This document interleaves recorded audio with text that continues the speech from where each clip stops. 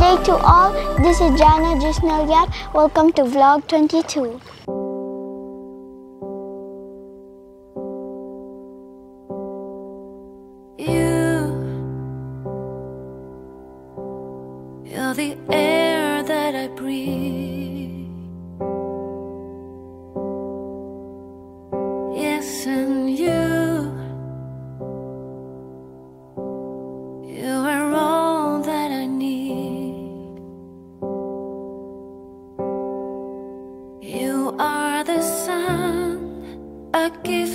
Light.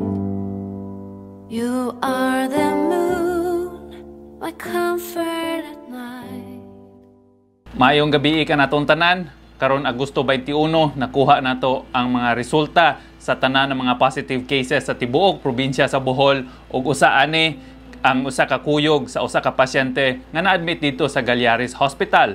Ang problema ani nakagawas-gawas ni siya ug ningkaon pa sa mga karenderyas dapit sa Galyaris Hospital. Ning attempt pa ni siya og sulod sa mall. Pero pasalamat nato nga wala pa moabli ang mall. So wala siya nakasulod didto so ningkaon ni siya sa pag-Agosto 19 o Agosto 20 so atong gihangyo kung kinsa to ang mga nakaadto pod sa mga karenderyas palihog lang magbilin ko o cell number sa ato ang caption para tawagan nato para ma-interview mo. Ato pang gipadayon gihapon ang contact tracing. To ang buhaton is pangsirad-an nato ang mga karenderyas nga naadtuan sa mao nga ning positive sa COVID-19 atong ipang disinfect ato ang ipang quarantine ang mga staff ug ipang swab ug PCR test gihapon nato ang tanan ng mga na contact karon ang akong gi-mention nga ning positive sa COVID-19 tuwa na sa ilang lungsod naka-isolate karon.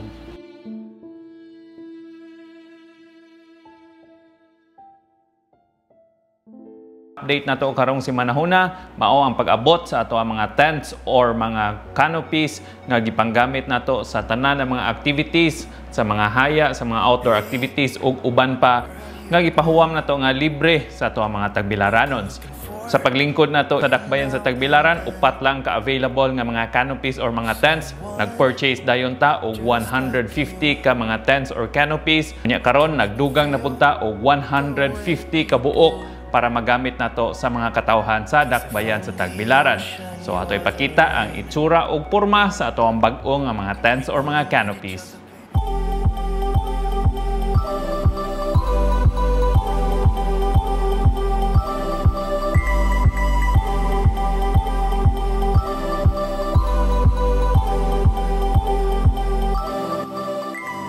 In behalf of First Lady Jane Yap, akong dakong pasalamat gihapon sa mga nagtabang o mga nag-donate para sa Gugma Tagbilaran nga nakatabang gihapon ta sa atong mga katawhan dinhi sa dakbayan sa Tagbilaran.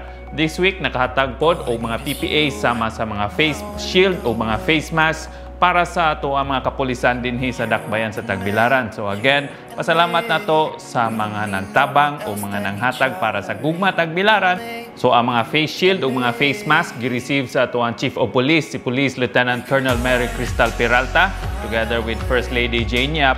So again, dako kay ni siya og tabang sa ato mga kapulisan dinhi sa dakbayan sa Tagbilaran. And Gugma Tagbilaran initiated this program to give PPEs to all our frontliners in Tagbilaran City. And of course, may tag frontliners, apil na ana atong mga kapitan, atong city police, atong fire. So once again, di kan yun sa amo ang kasing-kasing, daghan-daghan kayong salamat. And isa gyud sa mga gisugdan nato ang mga programa mao ang pagpanghatag og mga security guards sa ato ang mga eskwelahan dinhi sa ato ang syudad sa Tagbilaran, sa mga elementary schools ug sa mga high schools O karon gipadayon gihapon ni nato nag-ceremonial turnover ta. Kuyog ni Tagbilaran Schools Division Superintendent Erwin Lagura ug ni Engineer Junicel Mancha dito sa opisina para sa turnover ceremony sa ato ang mga guards.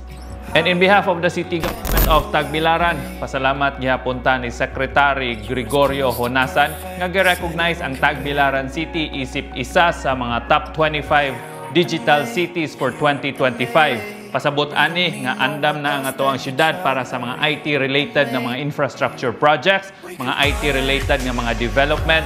So gitagaan ta og plaque of recognition. So salamat kayo secretary. And pasalamat po nato sa Department of Agriculture, labi na sa ato ang suod na higala si Attorney Salvador Deputado nga mo'y Regional Director karon nga naapil ang dakbayan sa Tagbilaran sa pagpanghatag og mga buhi nga mga manok nga gi-turn over na to didto sa ato ang Tagbilaran City Women's Organization nga nauna ang Barangay Dao nga girepresentahan ni Kapitan Bert Wagang ug sa Barangay Ubuhan nga girepresentahan ni Kapitan Mary Jane Ruiz. First batch lang ni siya, dako kay ni siya og tabang ilabi na karon nga naata sa pandemya and ang atong gipanghatag mao ang manok nga Bohol strain. So ato ipakita ang distribution sa ato ang live native chickens para sa ato ang mga Tagbilaran City Women's Organization.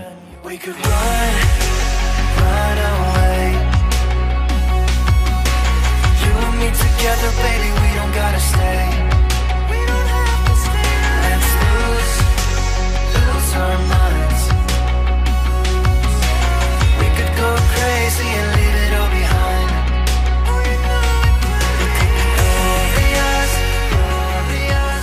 And pasalamat na to sa Globe nga nihatag og iPad para sa City Government of Tagbilaran. Magamit na to ni para wala na contact ang ato ang pag-process sa ato ang Baba Health Card o mga financial assistance. So again, salamat kayo sa Globe o ni Eden Descaliar sa pag-turnover sa iPad para sa ato ang office. And pasalamat nato ni Sen Tony Angara nga nahatagan ang dakbayan sa Tagbilaran og project didto nato gibutang sa Habitat ang isa ka covered court or multi-purpose covered court nga magamit not only sa mga sporting activities kundi maapil pod ang mga organizational meetings, maapil ang mga events ug apil na pod ani ang pag-enhance sa mga talento sa ato mga kabatanunan sa akong gi-mention kaganina nga mo involve og sports. So reminder lang gyapon sa tanan nga magpermanente lang ta magsuot sa ato ang mga face mask. Sa musakay og pampubliko nga mga sakyanan kinahanglan gyud nato ang face shield. Kinahanglan ta manghunaw sa ato ang kamot. Kinahanglan ta mag-disinfect sa ato ang mga lugar. Kinahanglan ta mosunod sa social or physical distancing. Ug ang pinaka-importante magampo sa atong labaw makagagahom nga mahuman na sa atong giatubang nga pandemya tungod sa COVID-19 Stand together Tagbilaran, Asenso pa more.